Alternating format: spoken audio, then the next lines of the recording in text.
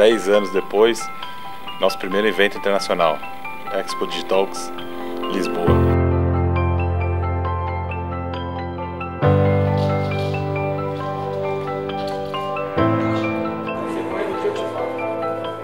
É, é uma emoção muito forte ver se construindo isso fora do Brasil e pela primeira vez Digitalks fazendo internacional e conquistando o mundo.